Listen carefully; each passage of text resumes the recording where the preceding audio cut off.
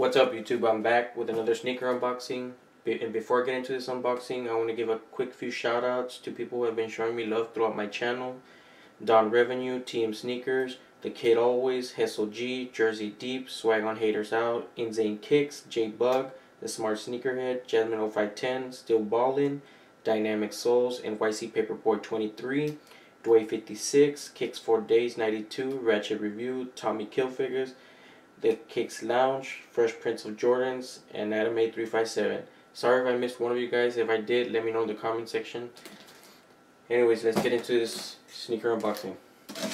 I don't know why it came in a, in a big bag if it's just one shoe. And obviously it came from sneaker from Nike factory. Look, they didn't even put a cushion on it or nothing. You see that? It's just one empty box.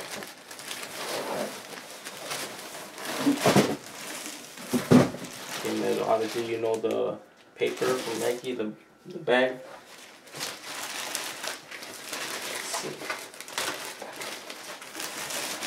Oh yeah guys, and I still have one more unboxing to do. It's just in it's just in its way. It's already shipped. So let's see what these look like.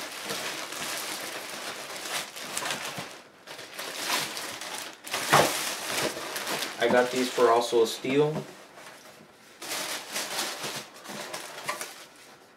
Nike receipt. And look at these. The Phoenix Suns. Stay tuned for a review on these guys. Peace.